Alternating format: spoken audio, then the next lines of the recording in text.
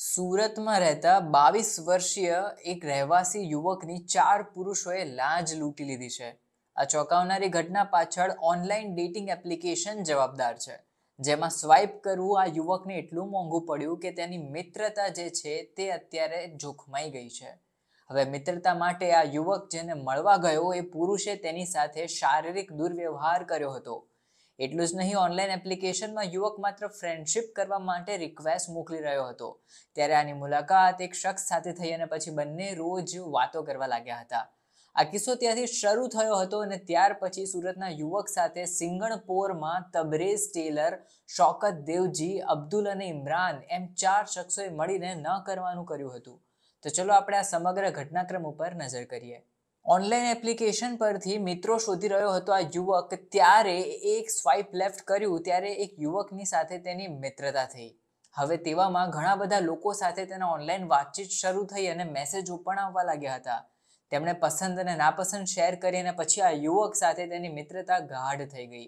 આ બંને યુવકો રાતભર એકબીજા સાથે વાતો કરતા રહ્યા અને યુવકને પણ થયું કે ચલો આ શહેરમાં કોક તો છે જે મારા જોડે વિચારસરણી મેળ ખાય છે. દસ દિવસ સુધી તેઓ લગભગ એકબીજા જોડે વાતો કરતા રહ્યા અને પછી એકબીજાને મળવાનું પ્લાનિંગ શરૂ કર્યું હતું. હવે બે ઓક્ટોબરે સુરતના બંને મિત્રોએ સરળતાથી એકબીજાને પોસાય એ ટાઈમિંગ પસંદ કર્યો અને પછી એક કેફેમાં મળવા માટે એકબીજાને આમંત્રિત કર્યા હતા.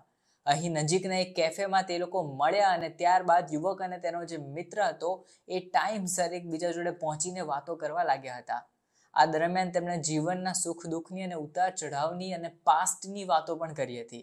હવે થોડા કલાકો સુધી તેઓ ત્યાં બેસ્યા અને પછી બંને મિત્રો ગાડીમાં બેસી અને ફરવા માટે લોંગ ડ્રાઈવ પર નીકળી પડ્યા હતા.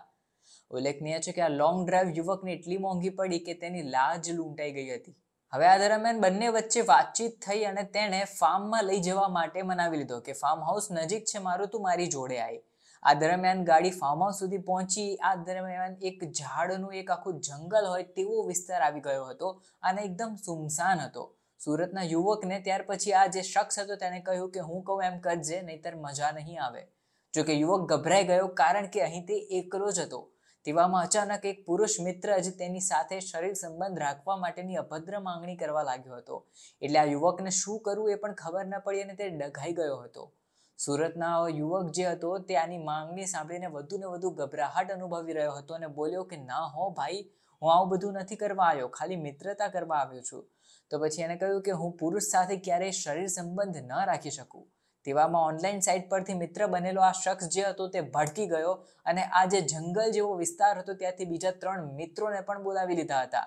આ સમયે ચારેય લોકોએ મળીને સુરતના યુવકની સાથે જંગલમાં ન કરવાનું કર્યું હતું.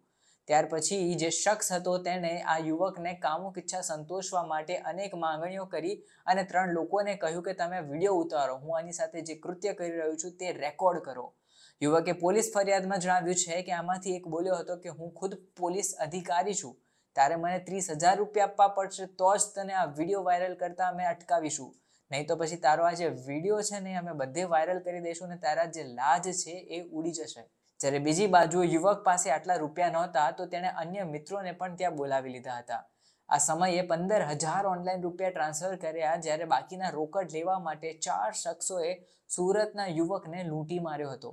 સૌથી પહેલાં તો તેનો મોબાઈલ અને લેપટોપ જે હતા તે લઈ લીધા અને પછી વોલેટ પણ કબજે કરી લીધું હતું.